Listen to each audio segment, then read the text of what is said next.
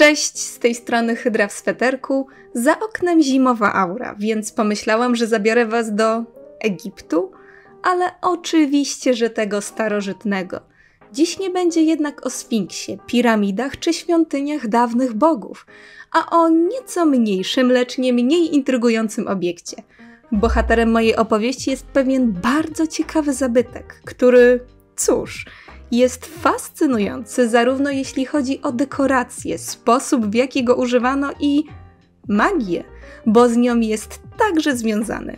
Zapraszam zatem na opowieść o jednym z najpiękniejszych przykładów sztuki starożytnego Egiptu, czyli o magicznej steli Meternicha.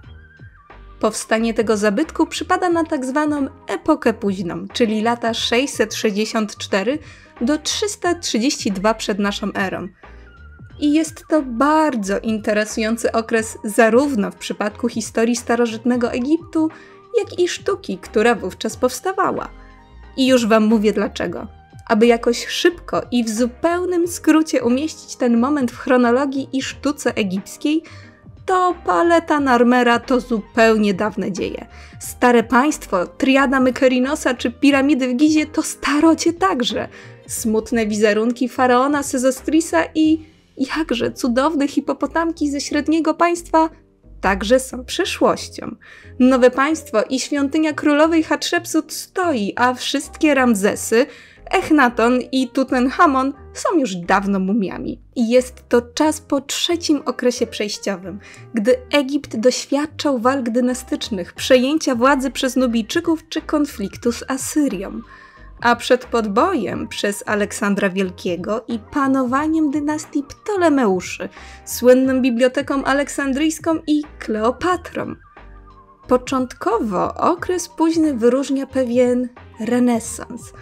Podniesienie się po trzecim okresie przejściowym jednak, jak nie urok, to Persowie, a potem Aleksander. Ale żeby tak nie było, że Egipt był tylko przekazywany jednym najeźdźcom z rąk do drugich, to rodzime egipskie dynastie także wówczas panowały.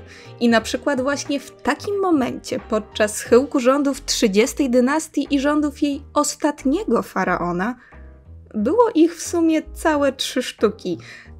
Ten akurat się nazywał Nektanebo II, no i właśnie wtedy powstaje stela Meternicha. A robiąc krótką wycieczkę do Grecji dla porównania, to wówczas chociażby tworzy Heraklesa Farnese, grecki rzeźbiarz drugiego pokolenia twórców okresu klasycznego, Lizyp.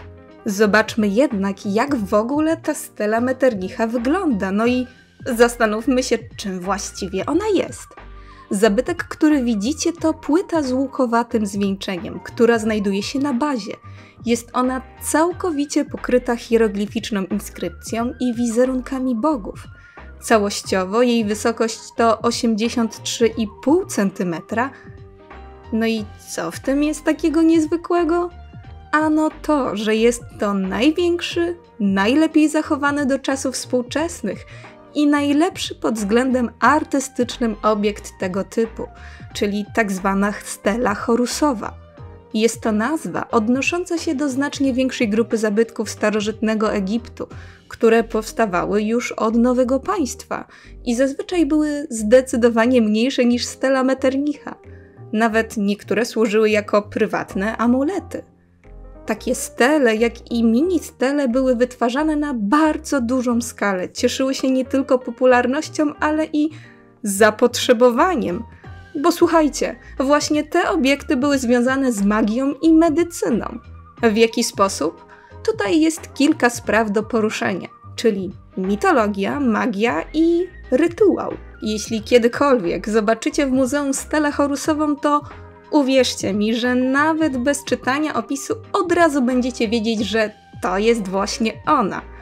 Po pierwsze, sam wizerunek na awersie, który jest charakterystyczny dla właśnie tych zabytków. A jest to Bóg Horus przedstawiony frontalnie, ukazany jako dziecko z takim loczkiem, zwanym lokiem Horusa lub lokiem młodości – i stoi on na krokodylach, a w rękach trzyma niebezpieczne zwierzęta jak węże, skorpiony, lwy i tym podobne. A nad jego głową znajduje się nieco groteskowa głowa dziadygi. A tak na serio, to opiekuńczego bóstwa Bes, które samo w sobie jest fascynujące i jest to temat na zupełnie inną opowieść. Jednak jedną z jego wyróżniających cech jest właśnie owa główka, do której jeszcze dzisiaj powrócę. Tak więc mamy Horusa ze zwierzętami, a nad nim główka Besa. No i o co z tym chodzi? Wizerunek ten nawiązuje do mitu o tym, jak bogini Izyda, matka Horusa, uciekała z nim przed swoim bratem Setem. Tam była cała historia związana z walką o władzę, morderstwem i poćwiartowaniem Ozyrysa, który był bratem Seta i mężem Izydy. No, ogólnie to nie wszyscy byli rodziną, ale okej, okay, na razie nie wnikajmy w te konotacje, bo najważniejsze w tej opowieści jest ta ucieczka Izydy ze swoim dzieckiem. Gdy ta zostawiła je na chwilę, to ono zostało ugryzione przez skorpiona, a gdy wróciła, to zastała Horusa umierającego od trucizny.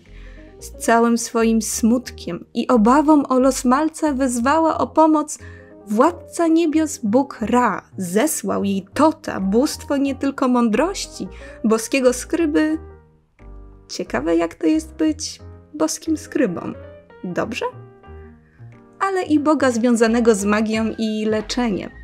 On za pomocą zaklęć pozbył się niebezpieczeństwa zagrażającego małemu Horusowi i uratował go. Ponoć zaklęcia, które wówczas wypowiedział, są powtarzane w inskrypcjach stel Horusowych. Na steli Metternicha znajduje się ich aż 13, zaś na bazie tego obiektu jest opisana właśnie ta historia. Jeśli oglądamy typowy przykład tego zabytku, to jedna powtarzająca się scena nawiązująca do tej historii to właśnie wizerunek Horusa, zwycięskiego, panującego nad zwierzętami. No słuchajcie, to dziecko stoi na krokodylach, a w rękach ma skorpiony? I ten sposób jego przedstawienia to znany już wam z moich innych opowieści typ pana zwierząt – ale, ale, niezwykłość steli Metternicha i coś, co ją wyróżnia na tle innych stel chorusowych, to bardzo rozbudowana i poszerzona forma. I to już w wizerunku Horusa, bo tutaj znajduje się on w osobnym panelu na awersie steli i otoczony jest przez innych bogów, którzy stoją na wężach, w tym boginię Izydę i boga Tota, czyli swoją matkę i lekarza, Zwróćcie uwagę, jak są oni ustawieni, ukazani z profilu, ale to nie dziwi zupełnie w kontekście sztuki egipskiej. Skierowani są ku Horusowi, zaś swoje ręce mają na takiej linii. Ona zaś odchodzi od głowy Besa i jest taką ochronną barierą wokół Horusa dziecka. Obok niego zaś Reharachte, wschodzące słońce oraz sztandar z koroną Ozyrysa, boga zaświatów. Więc tutaj mamy dodatkowo także symbolikę życia i śmierci. Ale okej, okay, jakie jeszcze inne sceny możemy znaleźć na tej steli? Chciałabym zwrócić uwagę na dwie. Pierwsza na awersie, tuż pod łukowatym zwieńczeniem, ukazuje powitanie wschodzącego słońca.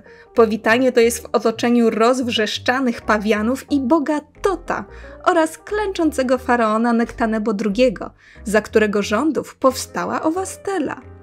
I pewnie się zastanawiacie, co to za gagatek z tymi czterema baranimi głowami? A jest to bóstwo Banabjedet, zaś owe cztery głowy mają reprezentować cztery ba, które można interpretować zarówno jako reprezentację czterech dusz Słońca, jak i czterech boskich władców, czyli solarnego, Ra-Atuma, boga powietrza podtrzymującego nieba Shu, bóstwo ziemi Geba oraz pana zaświatów Ozrysa. Zaciekawieni? To posłuchajcie o jeszcze jednym wizerunku. Druga niezwykle interesująca scena przedstawiona na tej steli znajduje się w jej górnej części rewersu widzimy kroczącą, dumną postać mężczyzny z głową bożka Besa, ze skrzydłami, dwoma parami rąk, koroną z głowami zwierząt i ptasim ogonem. W dodatku przy nim są jeszcze symbole oczu z rękoma w geście adoracji, a pod jego stopami symbole zwierząt, a wokół jakaś bariera. No i co to ma być? Domyślam się, że niektórzy być może są zaskoczeni tym wizerunkiem, gdzie różne elementy są nałożone i powielone. Jest to bardzo interesujące przedstawienie polimorficznego bóstwa, tak zwanego Bessa Panteosa, którego wizerunek, jak sami widzicie, nie jest typowym przedstawieniem bóstwa egipskiego, które przy nim wydaje się bardzo, pozwolę sobie użyć słowa uporządkowane. Jednak i w tym szaleństwie jest jakaś reguła, bo ta nietypowa, nieco dziwna forma o licznych kształtach zlepionych ze sobą jest odczytywana jako strażnik, ktoś, kto ma odstraszać zło i chronić przed bardzo szeroko rozumianym zagrożeniem. W dodatku zwracam Waszą uwagę jeszcze na dwie kwestie.